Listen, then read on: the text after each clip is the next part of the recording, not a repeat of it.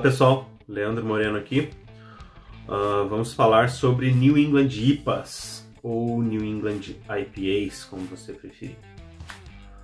Uh, antes de falar da descrição da cerveja, queria colocar alguns detalhes, algumas curiosidades aí do ponto de vista do BJCP.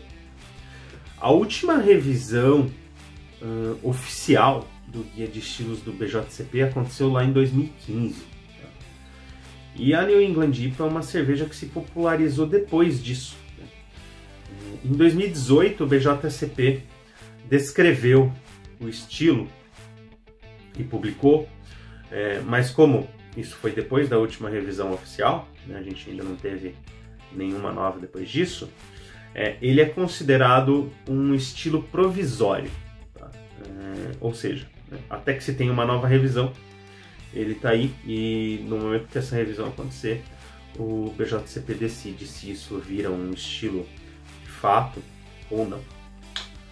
Meu palpite é sim, vai entrar oficialmente no, no guia, porque é uma cerveja que é, é muito popular, é, já tem alguns anos no mercado, está bem estabelecida.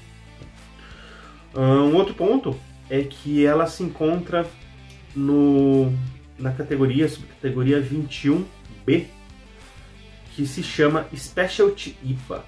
É, é um espaço para IPAs variadas que existem no mercado aí, tá? Ao invés de ficar criando né, um monte de subestilo para variações de IPAs, o BJCP fez esse 21B. Então você tem ali algumas variações como Black IPA, Red IPA, é, Belgian IPA e por aí vai. Tá?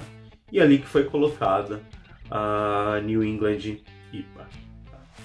Mas vamos falar dela então. É, na aparência a gente tem uma cerveja que tem uma coloração aí que vai de um amarelo palha até um amarelo clássico, podendo ter alguns tons alaranjados também. Forma uma espuma média a alta, bastante persistente, cremosa e é uma cerveja bastante turva, tá? chega a ser opaca, mas o guia deixa bem claro que não pode ter um aspecto lamacento ou ainda ter é, partículas sólidas boiando no copo. Okay?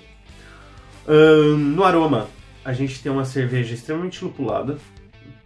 Esse lúpulo vai para o lado dos lúpulos americanos e principalmente lúpulos de Novo Mundo.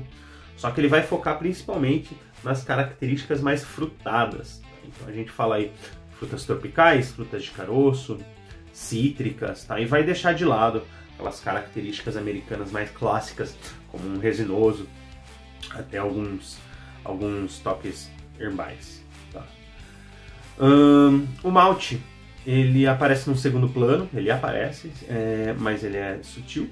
Tá? Vai ter características aí de panificação, é, de grãos mais básicos, né? E não pode ter caramelo, tosta ou alguma outra característica de maltes especiais aí. Tá? É, a cerveja pode ainda apresentar uma esterificação, um frutado proveniente da fermentação, mas isso tem que estar tá é, em harmonia com o frutado dos lúpulos, tá? Não pode brigar, tem que funcionar de uma maneira harmoniosa. No sabor, novamente, uh, sabor de lúpulo muito alto, essas mesmas características frutadas, né? É, esse, esse frutado é característica chave do estilo. Tá? Uh, o estilo também é conhecido por aí como Juicy IPA.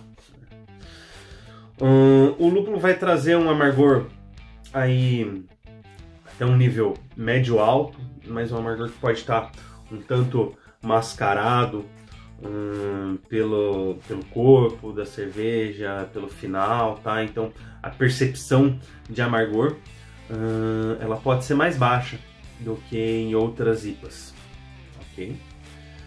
O malte é, baixo a moderado, novamente aquelas notas de panificação de grãos totalmente inadequado você ter caramelo, tosta ou outras notas de maltes mais intensos, tá? Você pode ter uma esterificação até um nível moderado, assim como no aroma, né?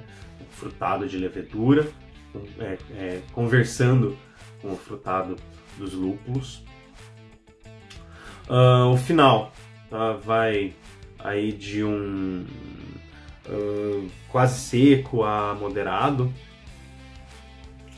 É, e você vai ter no aftertaste aí as notas frutadas novamente uh, e, um, e o amargor vai estar tá mais, mais contido. Tá? O amargor, amargor também nunca pode ter harsh, né? uma aspereza na língua, como você pode sentir.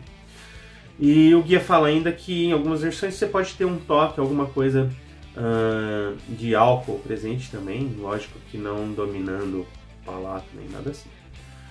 Na sensação de boca, a gente tem uma cerveja que vai de um corpo aí médio a médio alto, uma carbonatação normalmente moderada. Tá?